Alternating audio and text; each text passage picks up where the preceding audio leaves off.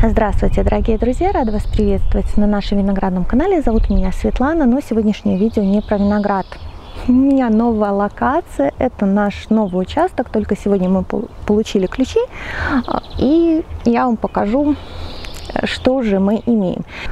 И этим видео я открываю целую серию видеороликов, где я буду рассказывать, э, как мы будем здесь закладывать виноградник с нуля, как мы будем планировать этот участок, что мы вообще будем с ним делать.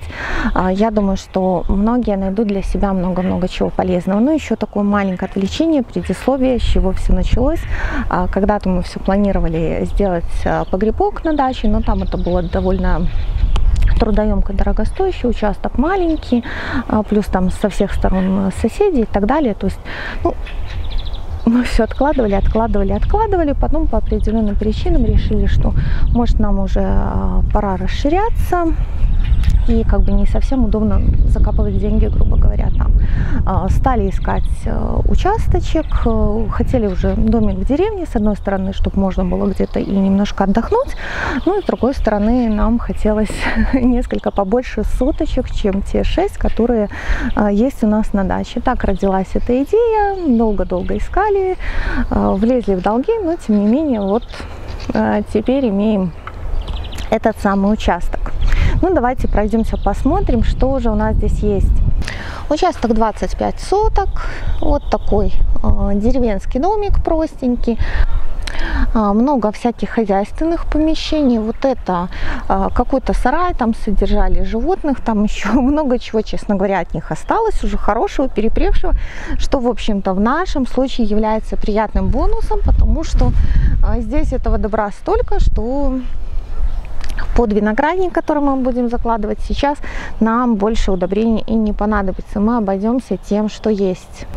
Вот там еще сарайчик и банька. Вроде бы в этом сарайчике даже есть небольшой погребок, а, что-то типа для картошки. Но, честно говоря, даже туда еще не лазили, не смотрели, потому что ну, не было на все времени. Вот этот сарай более новый, даже я бы сказала самый новый. Ну, там много всякого хлама. Может быть, что-то мы найдем, конечно, и полезное.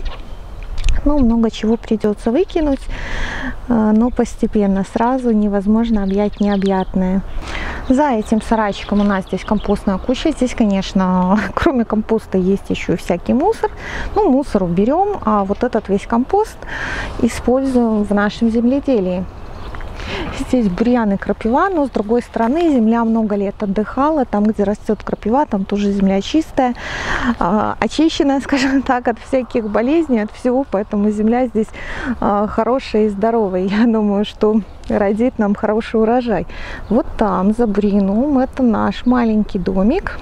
Это погреб а, висит замок, и на той связке ключей, которые мы получили, ни один ключ к этому погребку не подошел.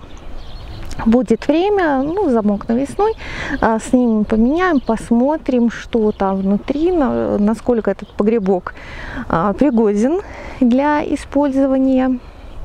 Может быть, как-то подремонтируем, может быть, еще там что-то сделаем. А, посмотрим, не все сразу. Ну, здесь всякие старые плодовые деревья, тоже будем видеть, что нам мешает, будем убирать, а, что не мешает, э, немножко поддержим, оставим, посмотрим, а, что из них нам может пригодиться. Здесь на участке компостная куча, она такая не одна, здесь их э, несколько я нашла. Ну, для нас это очень полезно на самом деле. Какой-то чужой петух пришел к нам в гости, иногда курочки заходят. С северной стороны нашего участка парк. А, парк довольно редкий, здесь такие уже довольно старые деревья. Конечно, к сожалению, а, есть определенные кучи мусора. Кем они созданы, я не знаю. Может быть, когда-то кто-то здесь мусорки устраивал. Может быть, от бывших хозяев еще что-то вот э, осталось такое. Постепенно, конечно, уберем.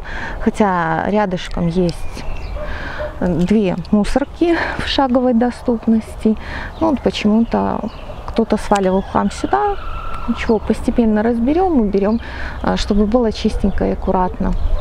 Но с другой стороны в парке можно встретить и вот таких желтых красавцев. Я э, очень люблю нарциссы и очень люблю, когда они растут вот так вот э, сами по себе. А, можно сказать, в дикой среде они как-то смотрятся очень мило. И сегодня а, немножечко раз... выгребаем весь этот бурьян. Его было гораздо больше, я чуть-чуть уже а, пригребла. Нашла вот такой вот приятный сюрприз. Здесь возле дома тоже фруктовые деревья, какая-то лыча, чернослив, несколько сиреней. А, там еще возле импровизированного столика а, есть э, белый шиповник. Я очень люблю белый шиповник, он такой ароматный. Вот это мне приятный бонус. Еще одна сирень, дальше куст э, жасмина. Единственное, что очень неудобно, он как раз находится на въездной группе, наверное, там будем делать со временем а, парковочку для машин, что-то уберется, ну, может быть, часть оставим для декоративности. А, в домике тоже есть погребок, но пока не показываю, как-нибудь сделаю отдельно обзорное видео по погребам, посмотрим, что здесь есть, разберемся. Ну, честно говоря, он пока что очень грязный, засыпанный, надо расчистить, а на все рук не хватает, чтобы все сделать одномоментно. Вот такой у нас участочек, очень теплый, очень солнечный, а, в достаточно хорошем месте, на возвышенности. Здесь недалеко а, протекает маленькая речушка, ну, нам она не помеха, потому что мы на возвышенности, на горочке. А, конечно, очень много всякого мусора, очень много всякого хлама, много чего запущено. И работы здесь не початый край. Но, как говорится, глаза боятся, а руки делают. Постепенно все это приведем в порядок. И, как я обещала, будем все показывать и рассказывать. Будем рассказывать, как мы здесь закладываем виноградник, что мы делаем, как этот участок планируем. Будем рассказывать всякие хозяйские вещи тоже, как мы тут что будем а, приводить в порядок. Так что нажимайте колокольчик, чтобы получать уведомления о новых видео. Подписывайтесь, ставьте лайки, пишите комментарии.